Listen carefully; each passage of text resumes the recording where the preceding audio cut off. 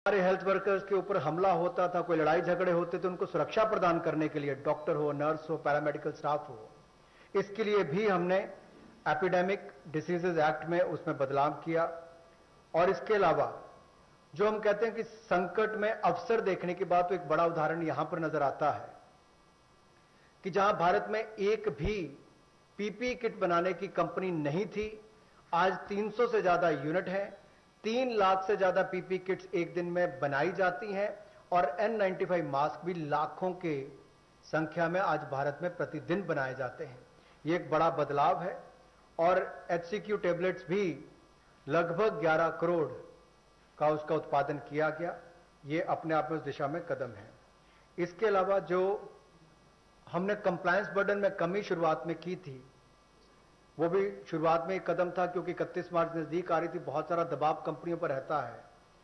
तो related party transactions के जो प्रोविज़न है, उसका युक्तिकरण किया गया और कंप्लायंस बर्डन को कम करने के लिए इस कोविड 19 के समय बहुत सारे प्रावधान कंपनीज़ एक्ट 2013 में उसके अंतर्गत ये प्रावधान किया गया कि जो बोर्ड मीटिंग्स हैं ईजीएम्स हैं एजीएम्स हैं, उनको आप टेक्नोलॉजी के माध्यम से कर सकते हैं। आपको व्यक्तिगत रूप से वहाँ पर उपस्थित नहीं रहना पड़ेगा।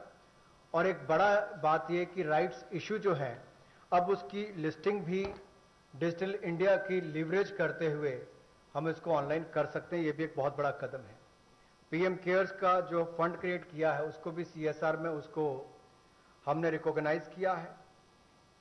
जिस तरह से सरफेसी एक्ट और डीआरटी में पहले रिकवरी के प्रयास किए जाते थे इंसॉल्वेंसी बैंक्रप्सी कोड में।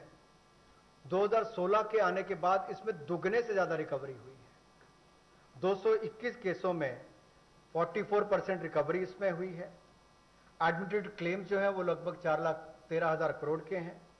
और जो वसूली योग्य रकम है वो लगभग एक लाख चौरासी हज़ार करोड़ है। और जो तेरह हज़ार पाँच सौ छप्पन केसेस हैं, उसमें लगभग पाँच लाख करोड़ रुपया एडमिशन से पहले ही जो ऐसी उसकी अमाउंट थी, उससे पहले विड्रॉ इतने केसेस को कर लिया गया। ये भी एक बहुत बड़ी बात उस दिशा में है। शिक्षा के क्षेत्र में टेक्नोलॉजी का उपयोग कैसे हो? अब एक मीडिया में भी चर्चा थी सोशल मीडिया में भी, कि गरीब के बच्चे तक कोविड 19 के समय शिक्षा की व्यवस्था कैसे पहुंचाई जाए। ये चुनौतीपूर्ण समय है। लेकिन हमारे एचआरडी मंत्रालय ने इसको बड़ी ज़िम्मेदारी और गंभीरता के साथ लिया और प्रधानमंत्री जी के निर्देश पर। अगर कुल मिलाकर देखा जाए, जैसे स्वयं प्रभा डीटीएच चैनल पहले चलते थे, आज भी चलते हैं। वो मदद और सहयोग करने के लिए उसके माध्यम से इन लोगों तक पहुँचा जाएगा, जहाँ पर इंटरनेट की सुविधा नहीं है और इसके लिए तीन चैनल्स को चिन्हित कर लिया गया है, शिक्षा प्रदान कराने के लिए। और 12 और नए चैनल्स को इसमें जोड़ दिया जाएगा। यही नहीं लाइव इंटरेक्टिव सेशंस इसका टेलीकास्ट भी हो सके, इसका प्रावधान भी एक्सपर्ट्स के माध्यम से किया गया ताकि स्काइप के माध्यम से आप इसका कर सकें।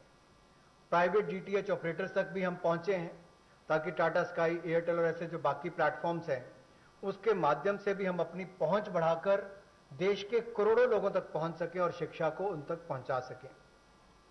हमने राज्यों से भी अनुरोध किया है कि आप चार घंटे का हमें ऐसा कंटेंट एजुकेशन का दें ताकि हम स्वयं प्रभा चैनल पर उनको दिखा सकें। और दीक्षा प्लेटफॉर्म के छियासठ करोड़ हिट्स अब तक हुए हैं 24 मार्च तक और 200 नई टेक्स्ट बुक इसमें जोड़ी गई है ई पाठशाला के माध्यम से। Uh,